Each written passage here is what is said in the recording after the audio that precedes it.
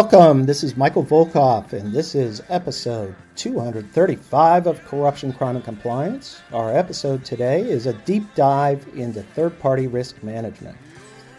Hello, everyone. Thanks for joining me today on Corruption, Crime, and Compliance, coming to you from sunny, sunny Sicily in Italy. Uh, I have the good fortune of being able to work from here uh, for the next few months, and uh, it's a beautiful place and a wonderful place. And uh, if you are in any way traveling in Italy or have a chance to come to Sicily, please let me know. Love to uh, host you, talk to you, meet you, have a coffee, uh, enjoy the beautiful food, the beautiful scenery, and the beautiful people here in Sicily.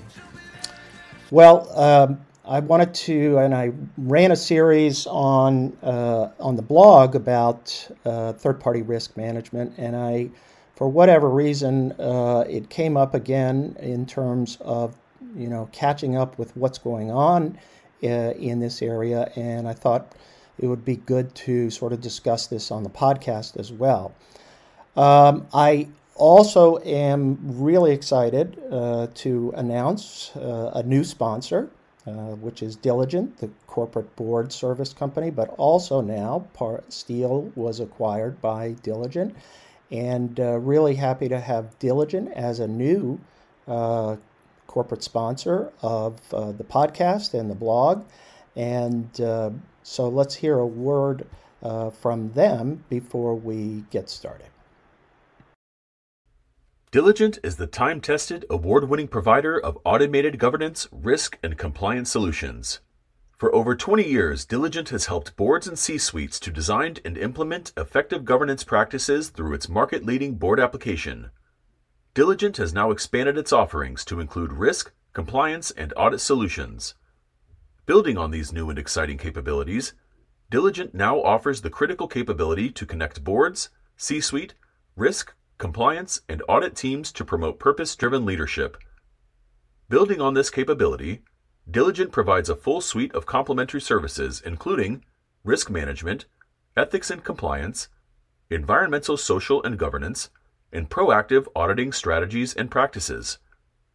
Diligent solutions enable companies to implement robust corporate governance to mitigate and manage risk, create a culture of ethics and compliance, ensure that company controls are audit ready, and implement tailored and responsive ESG solutions. If interested in exploring Diligent's unique complement of solutions, please reach out to Diligent at its website, www.diligent.com.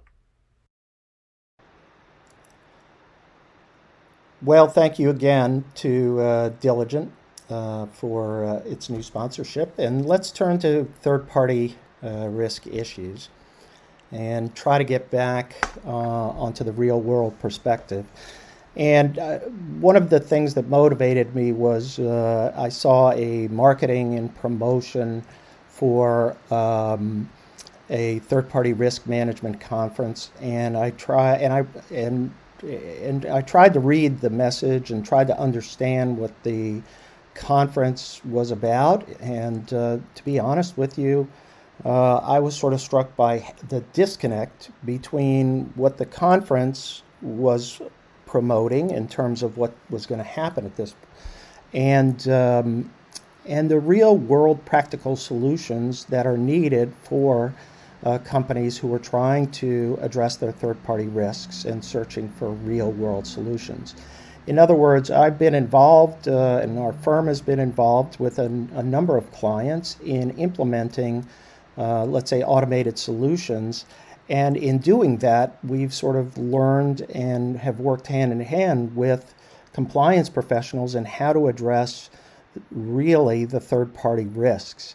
And it just seemed to me that some of the platitudes and general statements, you know, while theoretically nice and great uh, and aspirational, um, that there's a real disconnect between what's needed on the ground to get people on, to get them to implement uh, automated uh, solutions use data analytics in a real and positive way, auditing and monitoring services as well.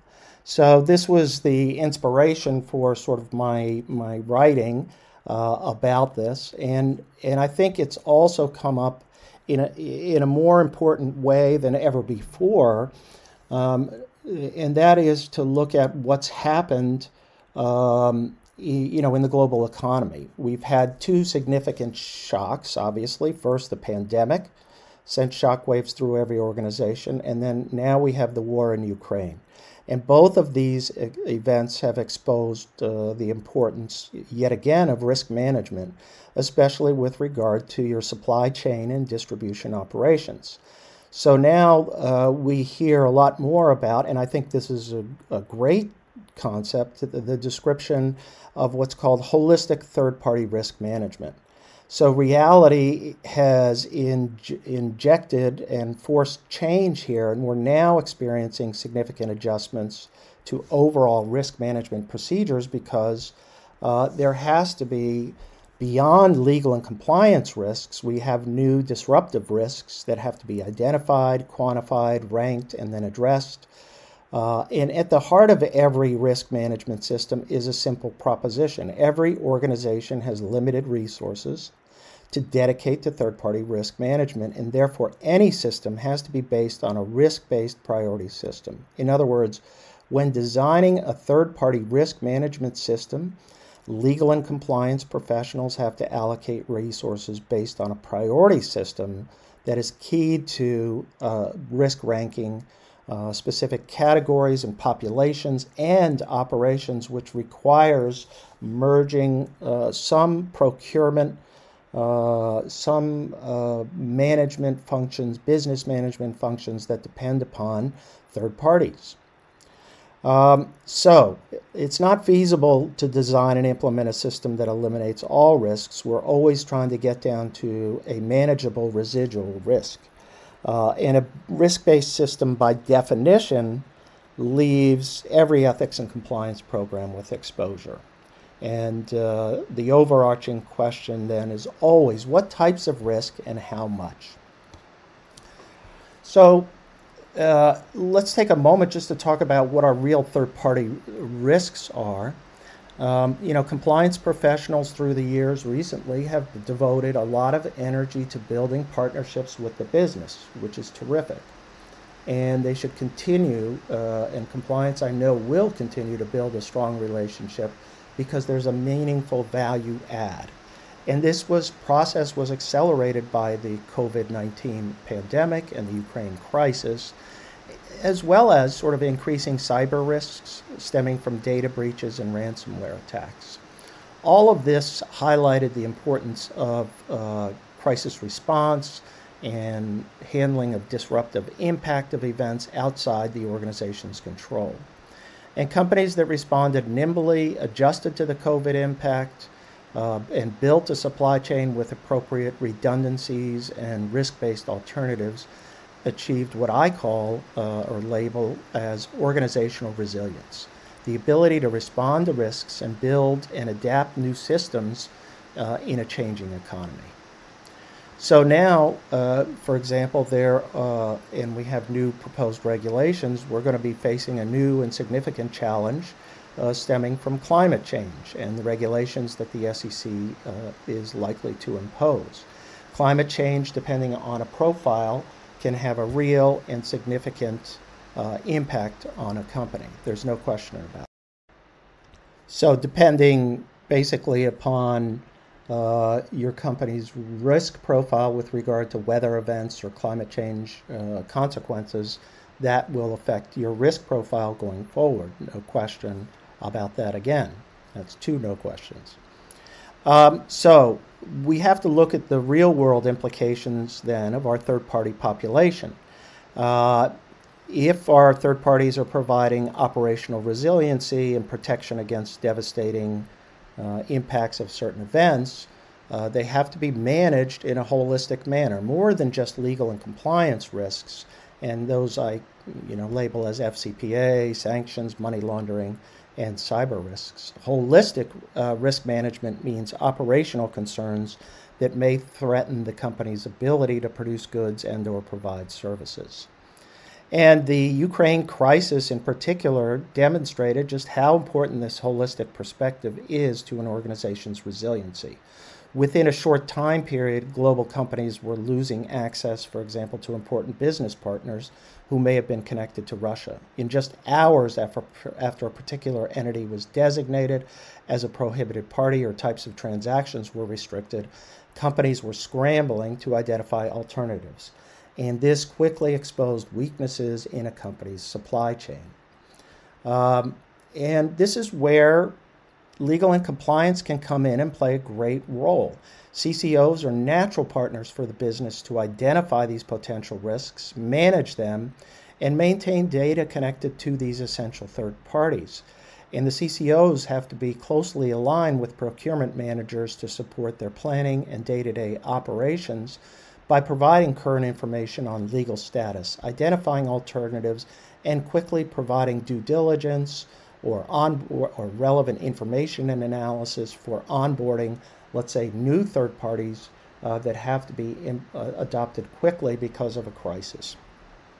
And many businesses went through that process in response to the COVID pandemic when some third parties were forced to shut down uh, or even discontinue operations because of the impact of COVID.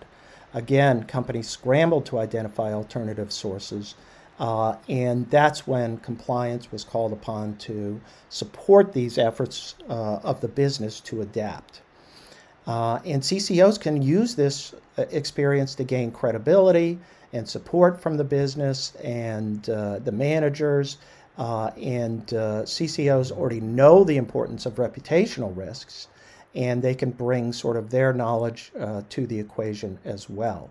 Um, so uh, there's part of the identification and risk ranking and navigation of all of these risks uh, requires this holistic uh, perspective. So one other upside, I mean, I know I've been talking here about the sort of downsides of reputational disruptions, uh, uh, economic dislocation. But let's take this moment also to look at third party risks, but look at your third party population as an opportunity to advance your culture. And that's an important consideration. It's a big positive upside, and it's a big overarching sort of concern here of managing your third party po- population. After all, a large number of third parties represent your organization, such as agents, distributors, and resellers in the marketplace, and frequently interact with company customers. So instead of looking at the downside of this situation, the upside is while they create certain legal risks, they can be managed to promote your company's culture and should reflect an onboarding and due diligence process that's designed uh, you want to make sure that you ensure that your third party population operates consistently with your ethics and culture requirements. In other words, these are advocates, these are promoters of your own culture. And this is an important opportunity to extend your company's culture in the marketplace. A starting point, therefore, is to identify expectations for conduct by your third parties in the marketplace. And I always look to, and I've seen more and more clients and companies building a guiding set of principles uh, and outline this in uh, either as a vendor or a distributor code of conduct. This is, and there usually are two documents on the sort of upstream and the downstream in terms of a distributor code of conduct and a vendor supplier code of conduct. These outline important principles that govern the relationship between your organization and third parties and include representations that can then be referenced in commercial contractual agreements. Companies should review these documents and specific contracts and purchase order forms to incorporate, uh, incorporate salient points to underscore the importance of the company's ethics and culture as well as reference to contractual provisions. Uh, and companies should also look for opportunities to promote these important ideas. Uh, that there are robust training programs are required for relevant third parties to communicate the importance of the company's ethics and compliance commitments. And this should be reinforced by obviously third party certifications as to adherence to the company's code of conduct and values. Many companies also hold annual meetings of its distributors and sales agents, or even regional ones. Uh, in various parts of the world as an important way to coordinate business opportunities and make sure that there is adequate time given to the compliance professionals to either conduct training or also to give a general talk about how important ethics and compliance is and have it reinforced by senior management. These are important events, and frequently they bolster commercial and compliance performance by third parties. Annual meetings uh, build loyalty, uh, they build commitment, uh, and they also uh, are an important opportunity to reinforce important principles to the companies. Companies also that have a defined ethical culture have to make sure that their third party risk management policies and procedures are consistent with the importance that the company has designated or allocated to its culture through the onboarding, oversight, and auditing process. So it's an even in the way that you onboard uh, companies and third parties, there's ways to communicate the message and reinforce the message of adherence to ethics and culture. Proactive companies uh, really do view the onboarding process as an opportunity to communicate to the third party the importance of ethics and corporate culture and values. Once the onboarding process has been completed, a contract is executed, let's say an initial training session and orientation would be another valuable practice, although such, uh, requirements may bump against the reality of expedited onboarding and immediate business interactions.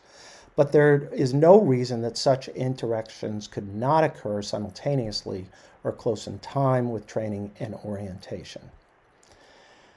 So let's now turn uh, again and dig into a little bit more on understanding our third party population. We've sort of talked about the downsides, uh, why we're here and talking about this, and the upside opportunity with regard to advancing your culture. Um, for large global companies, uh, identifying and understanding your third party population is uh, is not an easy issue. I can always recall that Tyco, for example, years ago, took them three years supposedly to identify all their third parties in their population. Some companies do not have a readily available a list nor an understanding of the size and scope of their third party population, and that can be an initial hurdle unto itself. So, the first step usually involves some kind of collection of third party information, which requires usually coordination with various business partners uh, throughout the globe and in, by regions. Uh, and this is a, a real challenge. Uh, and then once we start to get this information, we look at what I call uh, classification and stratification uh, and slicing and dicing the population. So we carve out those third parties that are involved, let's say, in the sales side, that being distributors, agents, resellers, and with whom the sales side typically interacts on a regular basis. And second, uh, I usually take the supplier vendor side and put them into categories and usually initially divide the vendor supplier side into two broad categories, which is often used by many in the procurement business, which is direct and indirect vendors and suppliers. Direct vendors are usually those who provide raw materials and other inputs needed to manufacture specific goods. Indirect vendors are those that provide other categories of services and support for uh, the business operations, including professional services, customs, logistics, administrative services, consultants, and other relevant uh, indirect categories. But the definition and the dividing and creation of categories takes time. And I would urge you to take the time because the more time that you take in fashioning this, the easier it is and coordinate with the business so that the categories are familiar and understandable to the business. Um, and it's important in building a defined classification system that legal and compliance has to understand exactly how the business operates, what the specific role of the third party is, and uh, what uh, exactly where it fits into the business operations. Uh, and this process is really a very educational and a good one, and you cannot skip over it. You have to put in the time to talk to your business partners. Once the categories are defined and assigned, then you have to look at potential risks. Operational, in the sense of disruption. Uh, in other words, operational resiliency. Your legal, your cyber, and other specific type of factors. From an operational view, third parties have to be graded for their overall importance to the supply or distribution chain. An exclusive distributor, distributor in a country or region will carry significant weight in a risk, risk score, as will a vendor responsible for delivery of an essential input. As part of this overall analysis, sales and procurement managers need to coordinate and support compliance or provide access uh, to relevant information on these issues. The compliance team also has to examine and identify legal risks. And here we get into our old familiars anti corruption, money laundering, antitrust, sanctions, export controls, and cyber risks. And here we have to collaborate in defining and assessing these risks, including trade compliance, procurement, sales channels managers, and information technology. And this partnership brings together legal and compliance experts to assess the importance of specific risk factors and strategies for uncovering these risks.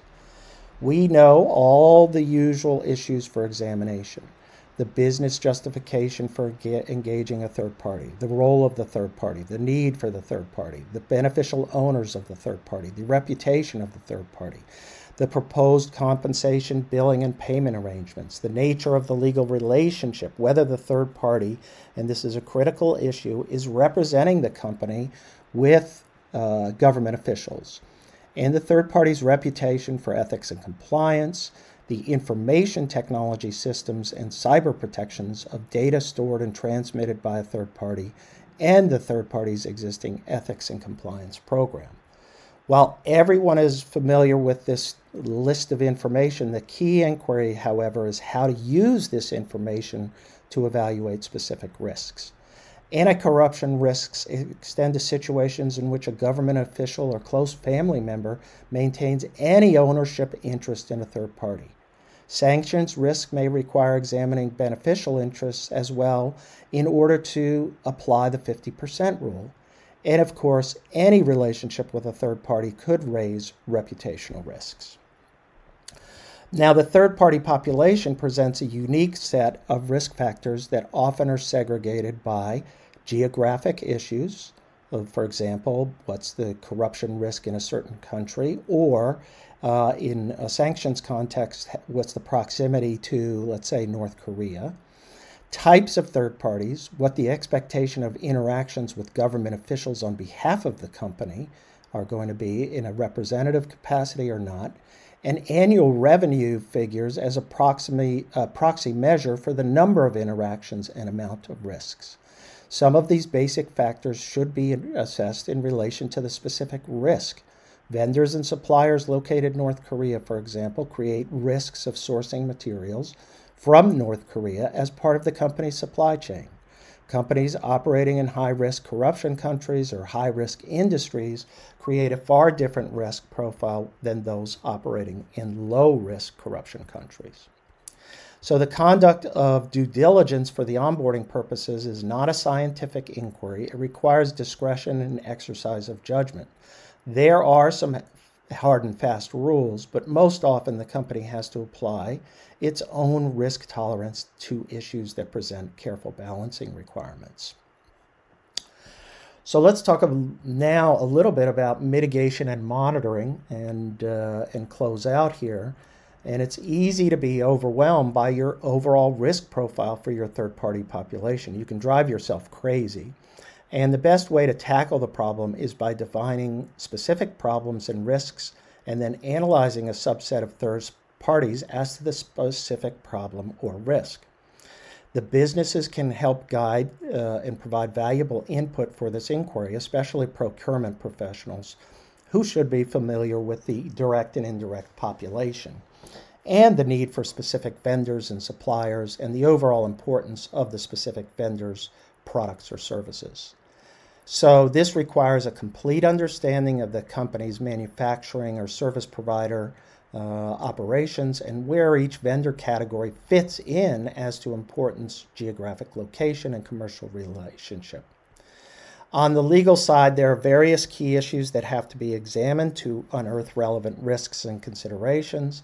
And I've already mentioned, and the classic example is does the third party interact with government officials on behalf of the company? This inquiry is critical concerning representation because it's a quick and significant way to classify those third parties that present a significant risk and focus in the area on anti corruption. Within that category of third parties, the inquiry then leads to an additional layers of risks relating to types of interactions customs, sales, tenders to government, regulatory inquiries, payment of foreign taxes, beneficial ownership, countries of operation, prior history of corruption, legal status, and documentation. While this may sound simplistic, the key here is to consistently address and measure these issues across the relevant segment of third party population and apply risk ranking weights to uh, allocate risk among the third parties. With respect to sanctions risks, geographic locations, obviously, of the third parties, uh, the specific role of the third party, are they a distributor or vendor, carries distinct risks, as does annual revenue as a key factor for proxy for a proxy for frequency and importance of transactions. To identify potential prohibited or restricted parties, again, beneficial ownership is critical. So, depending on the level and overall specific risk factors, mitigation strategies should be designed to reduce specific risks to acceptable levels. Contractual representations and assurances are, of course, important, but we all have observed too many cases where such representations are easily secured but have no meaningful impact on third party behavior. Nonetheless, it's an important first step, especially where contractual representations address a specific risk identified during the onboarding process. The game changing practice, however, is in the adoption of proactive monitoring strategies that respond to specific risks. Let me give you a few examples. One, end user certificates and documentation reviews to ensure that third party distributors do not sell products to prohibited countries, entities, or individuals. Two, financial transactions sampling to monitor transactions between the company and the third party and then the subsequent resale of products to the end user customer. And three, high risk partnerships and in person inquiries concerning interactions between company and third party.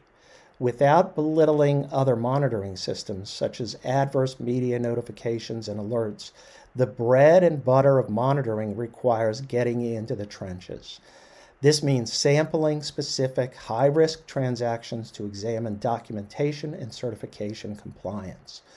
Following the money is a time tested and relevant way to stay on top of your third party, and dedicating personal time and effort to managing high risk third parties is a productive strategy for unearthing, unearthing risky uh, developments. Remote monitoring strategies such as transaction and financial sampling is the best way to identify potential irregularities. This inquiry usually leads to additional questions uh, and issues of concern, and third party misconduct can be hidden and false documentation can be used to avoid scrutiny, but often there are subtle but important signs of such behavior. Often, what starts out as a routine follow up will lead to exposure of a big problem. So, aside from proactive um, monitoring strategies that's tailored to your higher risk third parties, an overall audit program and strategy for third parties can be used to supplement overall third party risks. For example, if your company has a small number of high risk third parties, a rotating schedule of formal audits may be applied. In these days of remote connections, a formal audit does not require boots on the ground. There are a number of tasks, including interviews, uh, remote access to data and downloading, uh, which can be used to save time and money. And financial data is usually accessible remotely. Um, they have their limitations, these remote audits, but given the difficulty of travel and expense, uh, such audits may become more the norm than the exception. For lower third party risks, uh, there uh, that have not been identified through any proactive mo- monitoring strategy, the time for assessment and reevaluation usually arises when the third party contract expires, assuming there is a contract. At renewal, a fresh examination and assessment may be conducted, and third party risk can then be evaluated again with any new measures as needed to mitigate risks. Well, I know that was a long, long discussion. Thank you again for listening. Thanks for uh, your support. We appreciate it. Third parties are a continuing complex issue, and we appreciate uh, your time. And hopefully, this was helpful to you. And we'll see you uh, hopefully next week from beautiful Sicily uh, on uh, corruption, crime, and compliance. Thanks again for listening to Corruption, Crime, and Compliance. Please subscribe to the podcast series. The Volkov Law Group believes that every company should have a robust ethics and compliance program. Experience and research show that ethical companies are better performers in the global marketplace. You can learn more about the legal and compliance services we offer at our website, www.volkovlaw.com. You can also follow our award winning blog, Corruption, Crime, and Compliance, and our podcast series. You can contact Michael Volkov at his email address, mvolkov at volkovlaw.com.